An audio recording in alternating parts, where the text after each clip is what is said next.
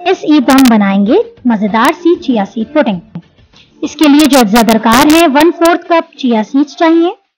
One cup low fat milk की requirement है आपको। A pinch of of half teaspoon vanilla extract,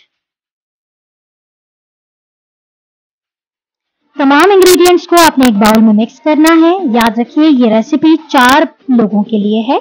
तमाम ingredients को अच्छे से आपने चम्मच से मिक्स करना है और फिर चार घंटे या ओवरनाइट आपने फ्रिज में रख देना है। इसके बाद आप मज़ेदार बेरीज कोई भी फ्रूट या नट से उसकी सर्विंग कर सकते हैं।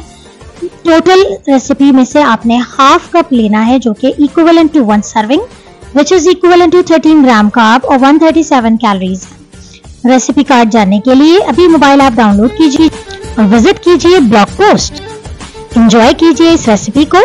और सेलिब्रेट कीजिए ईद को पहले से भी ज़्यादा।